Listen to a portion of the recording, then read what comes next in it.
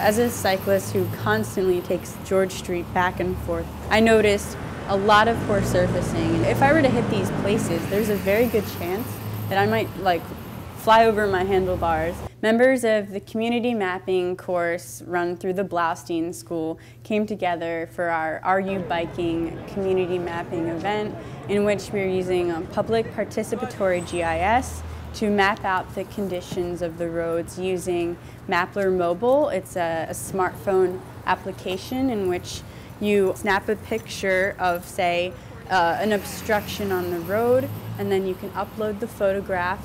It's great for people to reference uh, points among their routes that are dangerous, that present them with hazards.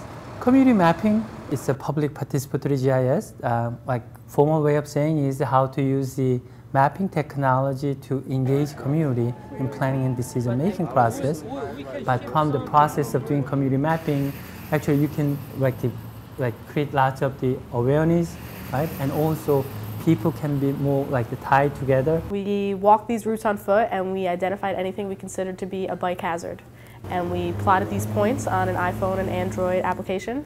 And we added descriptions, added photos, potholes definitely, traffic, um, awkward intersections with turning lanes, with bad views. We have created a map that in the end can ultimately be used as a tool for helping bring change in New Brunswick.